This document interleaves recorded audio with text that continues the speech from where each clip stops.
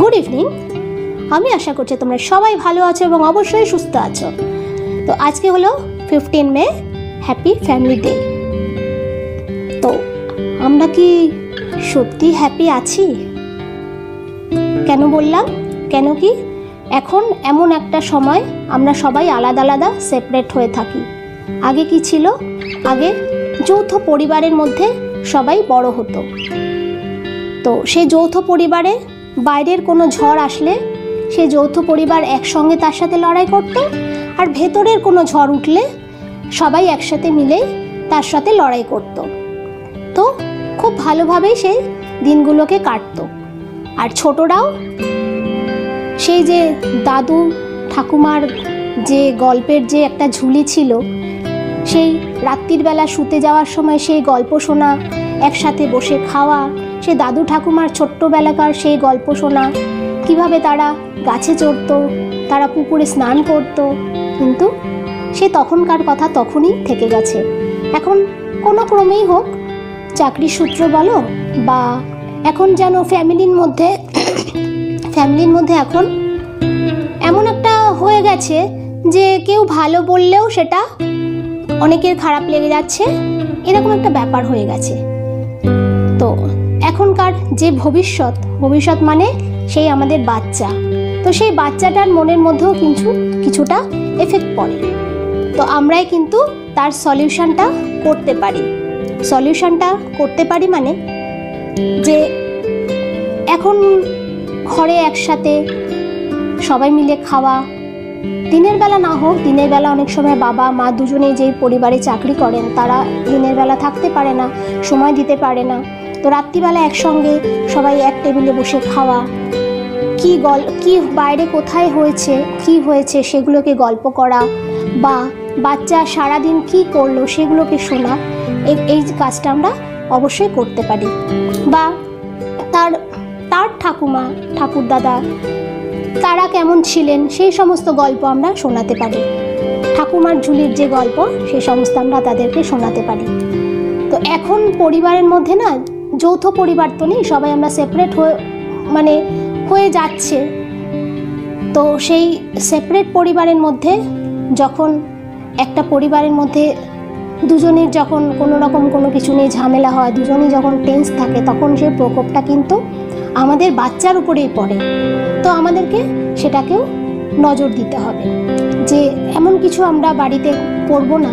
যে আমাদের সেই সলিউশনটা থেকেও করতে পারবে না সেই ব্যাড এফেক্টটাও বাচ্চার উপরে গিয়ে পড়বে। কেন কি কোনো কিছু ঘরে ঝামেলা হলে সেই যে আমরা টেন্সড হয়ে থাকি, তার বাইরের উপরে প্রকাশ পায় বাচ্চাকে তখন আমরা বকে দিই, কিছু কথা আমরা তখন শুনি না।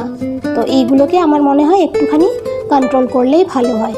যেহেতু আমরা এখন যৌথ পরিবারের মধ্যে থাকতে পারছি না। আর একটা জিনিস আমার মনে হয় যে কিছুটা কম্প্রোমাইজও করা উচিত। যে, না হয় নিজেই একটু এগিয়ে গেলাম, এগিয়ে গিয়ে আমি নিজের কাছে কখনো ছোট হয়ে যাব না। যে, আমি মনে মনে ভাববো, না, আমি কেন এগিয়ে গিয়ে ক্ষমা চাইব বা কেন আমি এগিয়ে গিয়ে কথা বলব? সেটাও আমার মনে হয় করাটা উচিত না। কেন কি এগিয়ে গেলে নিজে একটু কম্প্রোমাইজ করলে ক্ষতি কি আছে? আমার ভবিষ্যতে উজ্জ্বল হবে। ভবিষ্যৎ মানে সেই যে বাচ্চা, আমার ভবিষ্যৎ তো উজ্জ্বল হবে। তো এইভাবে আমরা কিছু কিছু ছোট ছোট কিছু জিনিস করে, আর এখন এই সিচুয়েশনে তো আরও এক থাকা উচিত। কেন কি? সমস্ত বেশি হচ্ছে মেন্টাল আমাদের মেন্টাল যদি ঠিক থাকে, অবশ্যই আমাদের শরীরও ঠিক থাকবে। আর আমরা যদি ঠিক থাকি, আমাদের ভবিষ্যৎ বাচ্চারাও ঠিক থাকবে। তাহলে এইটুকু ছোট ছোট ছোট মুখে আমি অনেক বড় বড় কথা বললাম। তো আমার মনে হয় অনেক, অনেকেরই কাজে লাগবে। তো ঠিক আছে, এই ছোট ছোট কথাগুলোকে একটুখানি সবার একটুখানি বুঝে নিলেই হয়। তো চলো, আজকে আবার সে নিয়ে যাব রান্নাঘরে। আরে, কি রান্না করব? এখন বলব না। চলো, রান্নাঘরে গিয়ে বলি।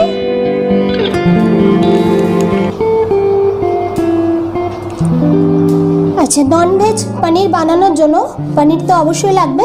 তার সঙ্গে আমি গ্রেভির মধ্যে কি কি দেবো সেগুলো দেখাচ্ছি। আর আলুও আমি দেবো, আলু একটু ভেজে নিয়েছি, আর মটরশুঁটিও দেবো, সেটাও রেখেছি। আর একটু পেঁয়াজ ভাজা নিয়েছি, পেঁয়াজ বাটা নিয়েছি, আদা রসুন বাটা।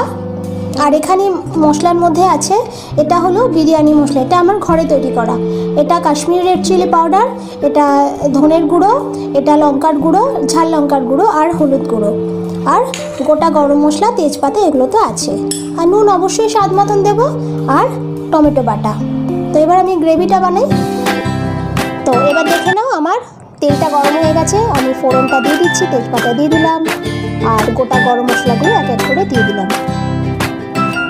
এবার এটা একটুখানি কালারটা চেঞ্জ হবে। নিজের গন্ধটা ছাড়বে। তার জন্য আমি একটু নেড়ে চেড়ে দিই এটাকে। এবার তো আছে আস্তে আস্তে কি দেবো? এই দিলাম পেঁয়াজ বাটা।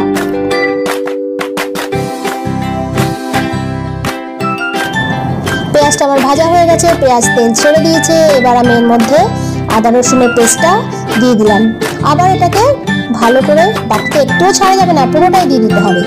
এটাকে ভালো করে নাড়াচাড়া করে নিচ্ছি। তো এইভাবে ভালো করে নাড়াচাড়া করে এটাকে ভাজতে হবে।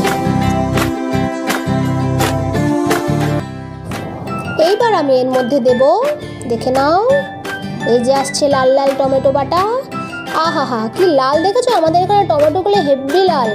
একদম দেশি টমেটো। দিয়ে দিলাম তিন থেকে চার চামচ বড় বড়। এবার দেব সেই যে মশলাগুলো রেখেছিলাম, সেই মশলাটাকে আমি একটু জল দিয়ে গুলে রেখেছিলাম। দিয়ে দিলাম। এরপর এটাকে ভালো করে একজনের সাথে আরেকজনের ভালো করে মিলজুল করিয়ে দিতে হবে। ঠিক এরকমভাবে আমি ভালো করে কষিয়ে নিলাম মশলাটাকে। এবার দেব আমি স্বাদের রাজা হলো নুন। নুন নুন নুন নুন দিয়ে দিলাম। এবার মটরশুঁটিটাকেও দিয়ে দিলাম এর মধ্যে। এবার ভালো করে আবার নাড়াচাড়া করে দেব। আর ভেজে রাখা আলুটাও দিয়ে দিলাম। একসঙ্গে আবার একটুখানি কষিয়ে নেব। এটা কিন্তু রান্না করতে বেশি সময় লাগে না, খুব তাড়াতাড়ি হয়ে যায়। ঢেকে দিলাম। এবার ঢাকনাটা খুলে দেখে নিই। হ্যাঁ একদম। তেল ছেড়ে গেছে, আবার একটু ভালো করে নেড়ে দিলাম। এবার আমি এর মধ্যে দেব গরম জল। আমি গরম জল দিয়েই রান্না করি, এটা তোমরা জানো। তো দিয়ে দিলাম, এতে কি হয় টেস্টটা ভালো থাকে আর তাড়াতাড়ি ঝোলটাও ফুটে ওঠে। তো এবার আবার একটু ঢেকে দেবো। আর এবার আসছে সেই আরেকটা জিনিস, যেটা রেখেছিলাম পেঁয়াজ ভাজা, এটাকেও আমি ঝোলের মধ্যে দিয়ে দিলাম। আরে আরে আরে স্কিপ করো না, এবার তো আসছে। সেই নন ভেজ পনিরের রহস্য। এবার দেখাবো। এই যে আসছে তোমার নন ভেজ পানির। তাহলে এবার দেখে নাও, আমি নন ভেজ পনিরটা কীভাবে তৈরি করেছি। তার সেটার প্রথম জিনিস হলো, দেখে নাও, ডিম। এবার এই ডিমগুলোর মধ্যে আরও তো কিছু দিতে হবে। এমনি এমনি কি আর পনিরটা টেস্টি হবে? তো তার মধ্যে আমি কি দিয়েছি? দেখো, আদা রসুনের পেস্ট অল্প একটু, আর গরম মশলার গুঁড়ো, আর একটুখানি লঙ্কার গুঁড়ো। আর যেটা না দিলে যে স্বাদটা বেস্বাদ হয়ে যাবে, সেটা হলো নুন। এবার এর সঙ্গে আরও একটা টুইস্ট মেশাবো। সেটা হলো, এই যে ছোট্ট একটা বাটি, এই বাটির তিন বাটি দুধ মেশাবো এর মধ্যে। ঠিক আছে? তারপর এটাকে ভালো করে ফেটিয়ে নেব। এবার আমি এটাকে স্টিমে দেব। তো স্টিমে দেওয়ার জন্য আমি অবশ্যই একটু জল বসিয়ে দিয়েছি আর একটা বড় থালা নিয়ে নিয়েছি। তার মধ্যে আমি একটু তেল ব্রাশ করে দিলাম। তারপরে এই ব্যাটারটাকে দিয়ে দিলাম। এবার সেই গ্যাসের কাছে যেতে হবে। এবার এটাকে আমি, আমার জলটা গরম হয়ে গেছে, এটাকে আমি স্টিমে বসিয়ে দিচ্ছি। বসিয়ে দিয়ে আমি ঢেকে দিচ্ছি। এবার কিছুক্ষণ পরে তো চেক করতেই হবে। চেক করে চলো এবার দেখে নিই, ঠিকঠাক হয়েছে কি না তো হ্যাঁ মনে হচ্ছে হয়ে গেছে আমার এটা। বেশ সফট হয়েছে হার্ড হয়নি কিন্তু সফট হয়েছে। তো এবার এটাকে আমি নামিয়ে নিই। দেখলে তাহলে টুইস্টটা এবার আমি নন ভেজ পানিরগুলোকে ঝোলের মধ্যে, আরে সরি সরি নন ভেজ পানির না। এখন তো রহস্যটা খুলেই গেছে।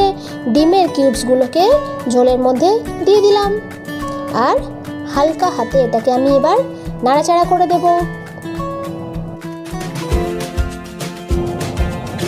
এবার আমি এটাকে ডিশ আউট করে নিয়েছি, দেখতে পাচ্ছ? কালারটাও কি সুন্দর এসছে। ওপর থেকে একটুখানি ধনে পাতা গার্নিশ করে দিয়েছি। আর এটাকে চটপট করে বানিয়ে ফেলো, খেয়ে নাও, আর অবশ্যই লাইক শেয়ার কমেন্ট করতে ভুলো না। যারা এখন সাবস্ক্রাইব করেনি সাবস্ক্রাইব করে বেল বাটনটা প্রেস করে দিও। তাহলে আজকের মতন, টাটা!